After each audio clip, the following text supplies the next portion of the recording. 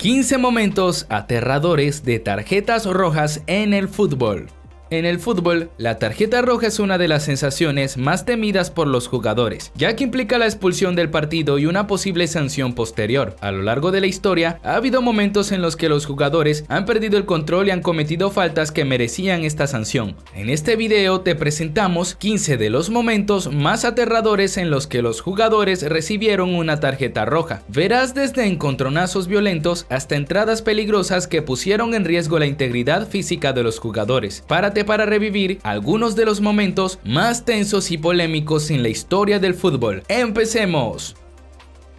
Número 15. Carvajal vs Diego Costa en un partido amistoso entre Real Madrid y Atlético de Madrid en la Internacional Champions Cup en julio de 2019, se vivió un momento de tensión entre Dani Carvajal y Diego Costa. En una disputa por el balón, Carvajal y Costa intercambiaron palabras y gestos agresivos, lo que provocó un forcejeo que terminó en la trifulca en donde intervinieron ambos equipos para separarlos. El árbitro no dudó en sacar la tarjeta roja directa para ambos jugadores y los tuvieron que retirar del campo. Aunque la situación no llegó a mayores, este incidente muestra cómo la rivalidad entre los equipos equipos y la pasión por el deporte a veces pueden llevar a situaciones violentas y fuera de lugar. A pesar de la expulsión de ambos jugadores, el partido continuó con intensidad y terminó con una victoria contundente del Atlético Madrid con un marcador de 7 a 3. Este momento sigue siendo recordado, mostrando la importancia de mantener la deportividad y el respeto en el campo de juego. Número 14. Patadas a Ramos. El fútbol es un deporte lleno de emociones, y una de ellas es la expulsión de un jugador. En el caso de Kangin Lee, la tarjeta roja que recibió durante un partido entre el Real Madrid y el Valencia fue muy polémica. Ocurrió el 18 de junio de 2020, en un encuentro que quedó 3 a 0 a favor de los merengues. En el minuto 88, Kangin Lee cometió una falta contra Sergio Ramos, que le costó la expulsión. La jugada fue muy discutida, ya que algunos la consideraron una entrada violenta y otros creyeron que no había mala intención, aunque el jugador del Valencia intentó justificarse diciendo que no fue su intención lastimar a Ramos. Las imágenes muestran que le dio tres patadas sin intención de jugar el balón. La expulsión de Canin Lee fue un momento clave en el partido ya que dejó a su equipo en inferioridad numérica. A pesar de ello, el Real Madrid no logró aumentar la ventaja en el marcador y el encuentro terminó con una victoria holgada para los blancos. Si bien la jugada no tuvo consecuencias graves para Sergio Ramos, la tarjeta roja a Canin Lee fue un hecho polémico que generó muchas discusiones en el mundo del fútbol. Número 13. Codazo y a la calle. En el puesto número 13 tenemos la expulsión de Douglas Luis en el partido entre el Aston Villa y los Wolves, el 12 de diciembre del 2020. En el minuto 85, Douglas Luis fue amonestado con la segunda tarjeta amarilla por pegar un codazo a Daniel Aston Villa, tuvo que jugar los últimos minutos del partido con un jugador menos. A pesar de la expulsión, el Aston Villa logró mantener el resultado 0 a 0 hasta el minuto 94, cuando Anwar El Ghazi marcó el gol que les dio la victoria. Sin embargo, la expulsión de Douglas Luis fue un momento difícil para el Aston Villa ya que puso en riesgo el resultado del partido. Aunque la expulsión de Douglas Luis no fue una roja directa, su acción violenta y peligrosa hacia un rival mereció la doble amonestación. Este tipo de acciones no tienen lugar en el fútbol y es importante que los jugadores aprendan a controlar sus emociones y respetar las reglas del juego. Número 12. Cuidado con la mano.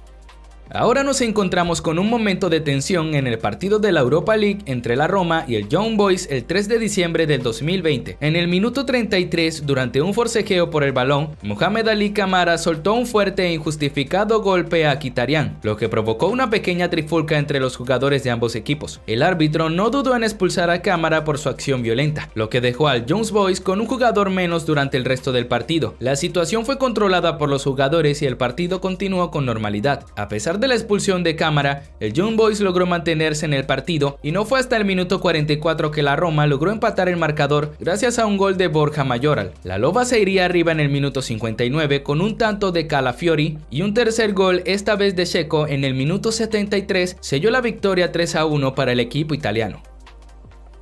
Número 11. Expulsión a Chaca.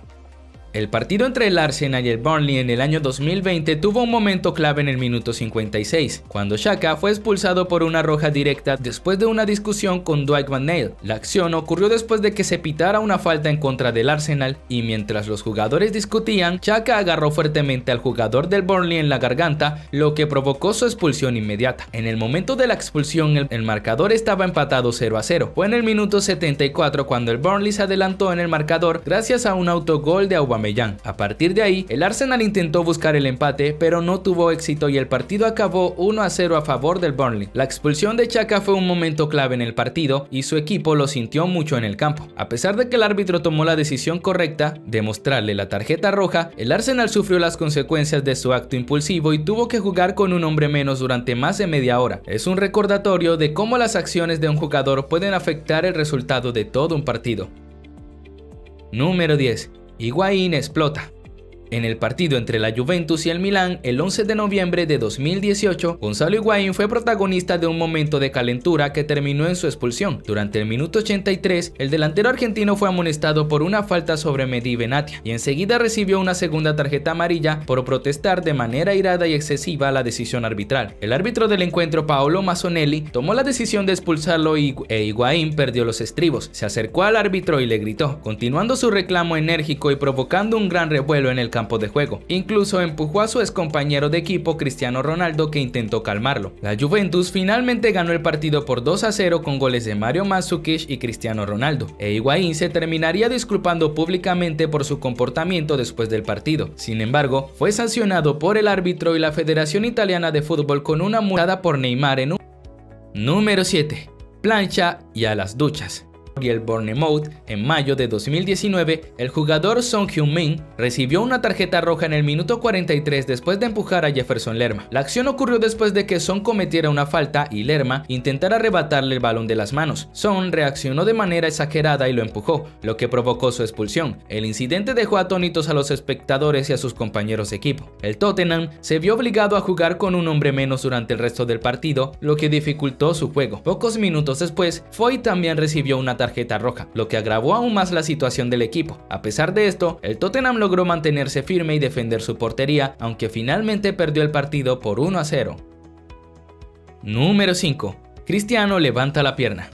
En el año 2013, Real Madrid y Atlético de Madrid disputaban la final de la Copa del Rey en el Estadio Santiago Bernabéu. El partido se encontraba en el minuto 113 de la prórroga, con un marcador 1 a 2 a favor de los colchoneros, cuando sucedió el incidente que derivó en la expulsión de Cristiano Ronaldo. En una disputa por el balón con Gaby, el portugués cayó al suelo y mientras se encontraba en él, levantó su pierna y golpeó al español. La acción no pasó desapercibida para el árbitro, quien mostró la tarjeta roja a Cristiano. La expulsión del delantero del Real Madrid dejó a su equipo en desventaja numérica y obligó a los blancos a jugar con uno menos en los minutos finales del partido. Finalmente, el Atlético de Madrid se llevó la victoria con un marcador de 2 a 1, consiguiendo así la Copa del Rey de esa temporada.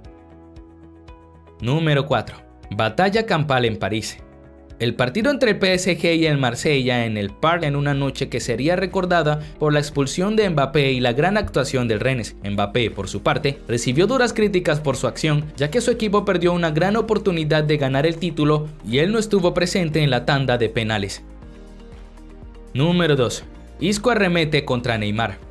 En el clásico del 21 de noviembre de 2015 en de 2020, el Real Madrid se enfrentó al Atlético de Madrid en un partido muy disputado que tuvo un momento clave en la prórroga. El encuentro estaba empatado 0 a 0 cuando en el minuto 115 Morata se escapó en una jugada en solitario hacia la portería del Madrid. Valverde, que había sido uno de los jugadores del Madrid durante todo el partido, se vio obligado a cometer una falta para detener a Morata y evitar el gol. Fue una entrada dura por detrás, pero que tuvo el efecto deseado. Aunque recibió la tarjeta roja directa, Valverde Verde se convirtió en el héroe del partido al evitar la derrota segura del Madrid en una situación crucial. Después de la expulsión de Valverde, el partido terminó sin goles y se decidió en la tanda de penales, donde el Madrid ganó por 4 a 1. Valverde fue elegido como el jugador del partido a pesar de haber sido expulsado, por su gran despliegue en el campo y por la jugada que salvó al Madrid de la derrota. Este momento demostró la importancia de la determinación y el sacrificio en el fútbol y cómo un jugador puede ser recordado por una sola acción en un partido decisivo.